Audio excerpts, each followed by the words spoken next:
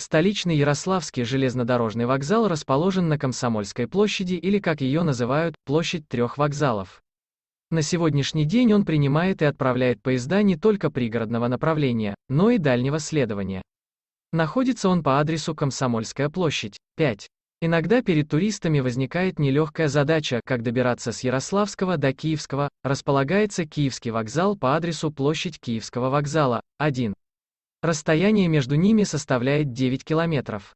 Возможные маршруты сколько на сегодняшний день предоставляется способов поехать на Киевский вокзал. Существует множество различных вариантов для преодоления данного расстояния.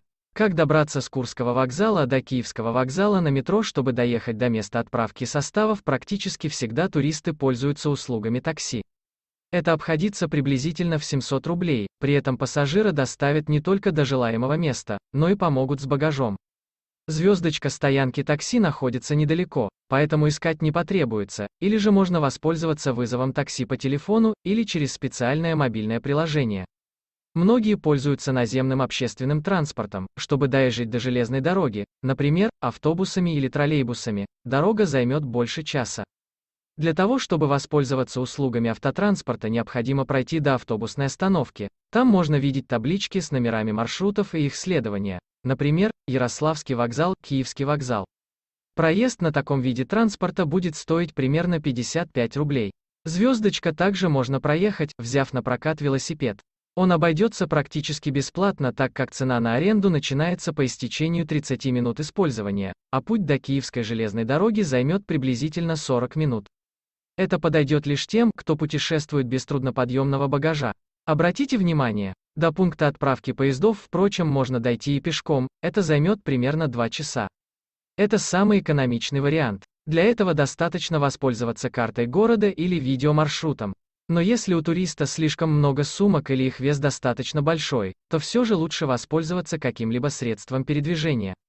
Путь на метро ездить на подземной дороге одно удовольствие, ведь это самый быстрый, доступный и главное надежный способ передвижения в большом городе. Отсутствие пробок в подземке и скоростные поезда могут гарантировать пассажиру прибытие в пункт назначения в прогнозируемое время. Как добраться с Ярославского вокзала до Киевского вокзала на метро? Как добраться с Казанского до Киевского вокзала на метро от Ярославского до Киевского можно добраться благодаря подземной дороге по кольцевой линии. Недалеко от Ярославского находится станция Комсомольская, а возле Киевского – Киевская. Дорога займет приблизительно 20 минут.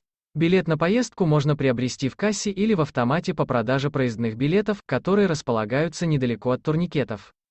Стоимость проезда за одну поездку в московском метрополитене обойдется звездочка 55 рублей. Звездочка важна? Входя в метро обязательно изучить указатели, потому что имеются две станции, Комсомольская, а именно Сокольнической и Кольцевой линии. Необходима станция Кольцевой линии, разобраться помогут схемы московского метрополитена. Не стоит временить с поиском нужного транспортного средства и его маршрутом. Итак, чтобы добраться до Киевского вокзала, путешественник может использовать метро, наземный общественный транспорт или взять на прокат велосипед. Данные маршруты не заставляют простаивать драгоценное время в пробках и экономят средства туриста. С вокзала начинается знакомство с городом и его обывателями. Звездочка цены актуальны на октябрь 2018 года.